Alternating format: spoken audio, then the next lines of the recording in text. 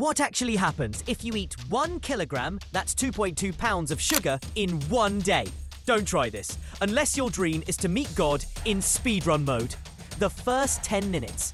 Your body gets hit with a sugar tsunami. Your blood glucose shoots up so fast, your pancreas wakes up like. Emergency! Release the insulin now! You'll feel energetic, powerful, like you just unlocked cheat codes. But don't celebrate, this is the calm before the disaster. Oh, after 30 to 60 minutes, your brain starts firing dopamine everywhere.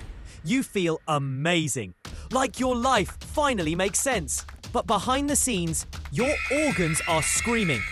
Bro, who ordered this much glucose? After two to three hours, your insulin overcorrects the sugar spike, and boom, sugar crash.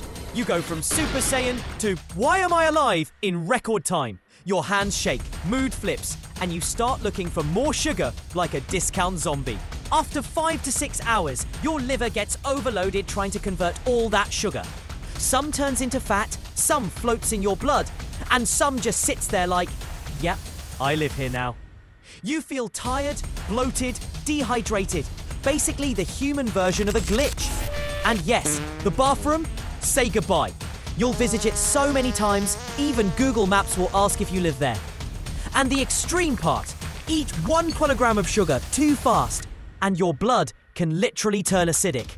This is called ketoacidosis. The thing doctors say with that, this is very bad face.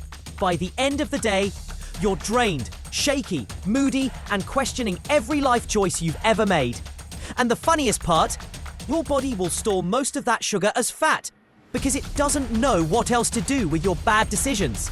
So, yeah, one kilogram of sugar won't kill you instantly, but it will make your body file a complaint. Tell me, how much sugar do you think you could eat before your organs start protesting?